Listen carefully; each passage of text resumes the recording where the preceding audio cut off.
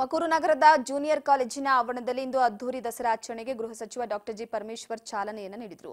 ಸಿದ್ದಗಂಗಾ ಮಠದ ಶ್ರೀ ಸಿದ್ದಲಿಂಗ ಸ್ವಾಮೀಜಿ ಕನ್ನಡ ಧ್ವಜಾರೋಹಣ ನೆರವೇರಿಸಿದ್ರು. ಇನ್ನು ಸದ್ಯ ಕಾಲೇಜಿನಲ್ಲಿ ನಿರ್ಮಿಸಿರುವಂತಹ ಭವ್ಯ ಮಂಟಪದಲ್ಲಿ ನಾಡದೇವತೆ ಚಾಮುಂಡಿ ತಾಯಿಯನ್ನು ಪ್ರತಿಷ್ಠಾಪಿಸಿ ವಿಶೇಷ ಪೂಜೆಯನ್ನ ಸಲ್ಲಿಸಿದ್ರು. ಸಚಿವ ಪರಮೇಶ್ವರ ಪತ್ನಿಕ ಪತ್ನಿ ಕನ್ನಿಕಾ ಭಾಗಿಯಾಗಿದ್ರು. ಅಲ್ಲದೆ ಯಲರಾಂಪುರ ಮಠದ ಹನುಮಂತನಾಥ ಸ್ವಾಮೀಜಿ ದಿವ್ಯ ಸಾನ್ನಿಧ್ಯವನ್ನು ವಹಿಸಿದ್ರು. ಇನ್ನು ಮೈಸೂರು ಅರಮನೆ ಹಾಗೂ ಚಾಮುಂಡಿ ದೇವಾಲಯದ ಮಾದರಿಯಲ್ಲಿ ಶ್ರೀ ಶಿವಕುಮಾರ ಸ್ವಾಮೀಜಿ ಮಂಟಪವನ್ನ ನಿರ್ಮಿಸಲಾಗಿತ್ತು. ಇದೇ ವೇಳೆ ಸರ್ಕಾರದ ದೆಹಲಿ ವಿಶೇಷ ಪ್ರತಿನಿಧಿ ಟಿಬಿ ಜಯಚಂದ್ರ ಶಾಸಕರಾದ ಜ್ಯೋತಿ ಗಣೇಶ್ ಕೆ ಷಡಕ್ಷರಿ ಸೇರಿ ಹಲವರು ಭಾಗಿಯಾಗಿದ್ರು.